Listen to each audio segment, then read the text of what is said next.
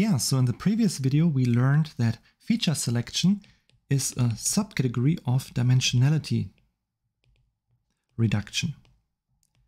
And we learned that in feature selection, we select subsets of features. Why are we interested in selecting these subsets in the first place again?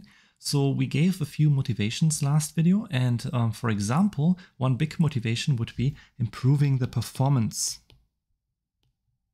of a model, which can come in two flavors. One would be the predictive performance and one would be the computational performance. So that is how fast a model runs.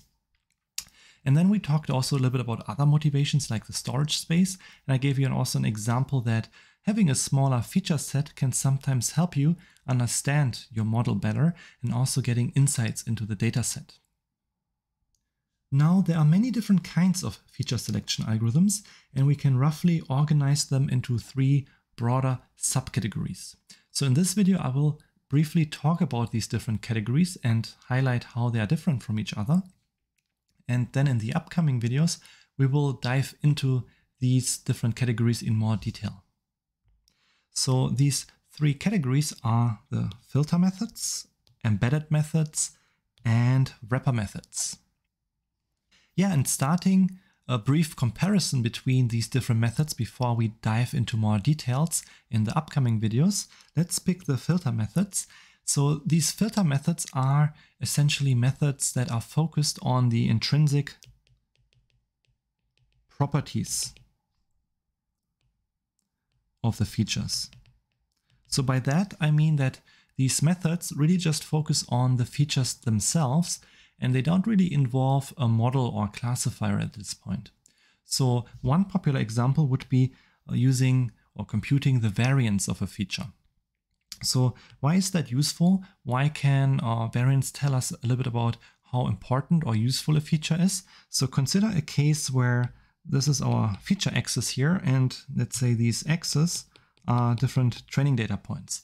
So if these data points are very much spread out across this axis, it's actually telling us that this feature is quite useful for distinguishing between different training examples. Notice here that we don't talk about class labels yet, so I'm just looking at the feature values. So we can't really tell at this point how good the feature is for, let's say, making predictions, but we already know that this feature is actually at least more useful than a feature where all the values overlap.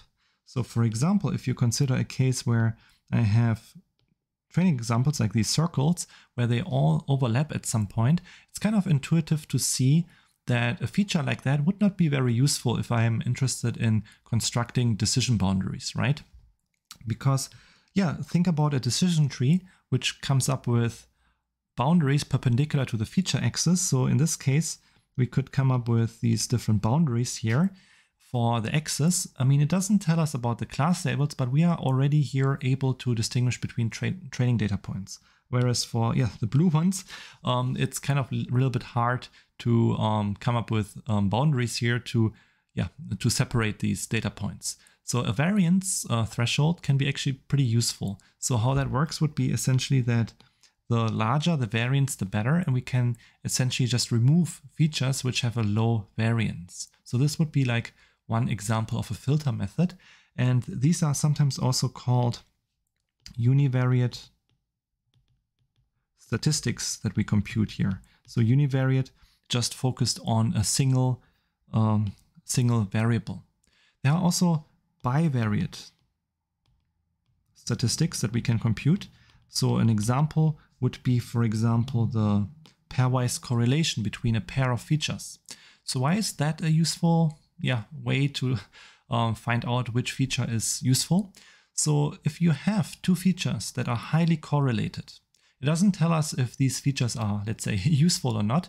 But if one feature is very highly correlated to the other feature, we know that at least one of the features is redundant and we can probably remove that from the dataset without use, uh, losing too much information.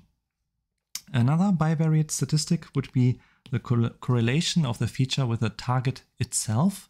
So yeah, especially in regression, analysis, if we have a feature that is highly correlated with a target variable, then yeah, fitting a regression model on these two variables that give us would give us a very good bang for the buck, right? If we have a high correlation between um, feature and target. So that's also actually pretty useful. So yeah, in a nutshell, filter methods are methods that are really focused on the features themselves. And yeah, in contrast, we have these embedded methods, which actually involve a model. So like the name embedded implies, these um, yeah, feature selection methods are embedded in the algorithm, in the learning algorithm, and they are usually part of optimizing the objective function. We will also yeah, cover this in way more detail in the upcoming videos, but just to give you one example, so if you consider a decision tree, so if you think back of the earlier lectures where we had decision trees, we split the nodes and in each point, each time when we split a node into these child nodes, we compare all the different features here and uh, different um, yeah, splitting thresholds for each feature because our goal here is to maximize the information gain. So we are finding the feature that maximizes the information gain when we use it for splitting. So in that case, a decision tree here is actually yeah, doing something that is similar to selecting features internally while growing the tree. And uh, usually it selects the feature that results in the most information gain. So that's our objective function. And it may find that only certain features in the dataset are useful for that. And as a consequence, it can happen that once we finished growing our decision tree, that certain features are not even used at all. So later we will also see that we can actually use that and see which features are really not that useful in the dataset. So typically, I mean intuitively, the features that are used first in the decision tree that are used higher up are usually the more important ones because they give us the most information gain. So lastly, there are these wrapper methods and the wrapper methods, they are, I would say, closest to our main goals if our main goal is optimizing the predictive performance of a model. So here we, um, yeah, we fit a model on different feature subsets usually, and then based on the performance of the model, we select or eliminate features. So to give you one, let's say, intuitive example, consider a feature set ABC and um, consider that we uh, fit a classifier to this feature set and let's say we get 99% accuracy or something like that. So pretty high accuracy, but uh, it's just like an example. It could be any number here. Now we are constructing feature subsets, let's say AB, or AC and BC. So we have three different feature subsets, and let's just um, also fit a model to each of them. So for example, for AB, we may get, let's say 80% accuracy. For AC, we may get 85% accuracy. And for BC, we may get, let's say 90% accuracy. So just by looking at these numbers and comparing these numbers back to the original performance, we can get an idea of how important each feature is, right?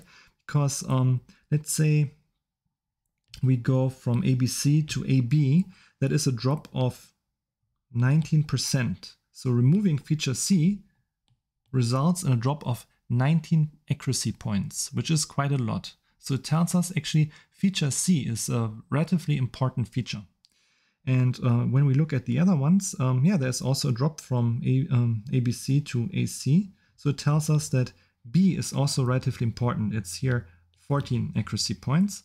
And for the last one, for feature A here, so that would be 9 accuracy points. So by looking at these different numbers, 9 accuracy points, 14 accuracy points, and 19 accuracy points, we can conclude that here feature C might be the most important one because when we remove it, it results in the largest accuracy drop. And vice versa, we can conclude that A is the least important one because when we remove it, we only have a 9% drop in accuracy.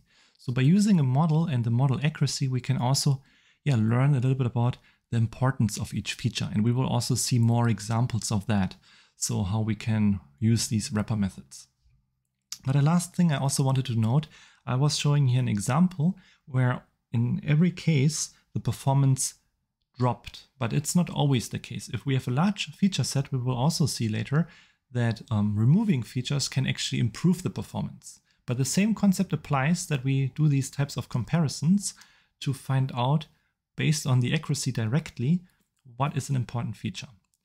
And yeah, one thing you may have already thought about is when we do that, if we fit a method every time to these different feature subsets, especially if we have a large number of feature subsets, this approach can become very expensive, right? Especially compared to something simple like a variance threshold, we have to carry out a lot of computations here and it can be quite expensive. So there's also a downside to these wrapper methods while they might be, or they sound like they are super useful because they use the accuracy directly. There's always also the downside of yeah, a computational efficiency trade-off. Usually simpler methods, um, let's say they are not as accurate, but they are sometimes or often faster, while other methods that, let's say, can give us better results are usually more expensive. So in machine learning, there's always this little trade-off, and in practice, we try to find like sweet spots. Okay, so in the next video, we will uh, talk a little bit about these filter methods in more detail. And then in the upcoming videos, we will also dive more into these embedded and wrapper methods. But at least based on this video, you have already a brief overview of these different categories of feature selection algorithms and how they compare with each other.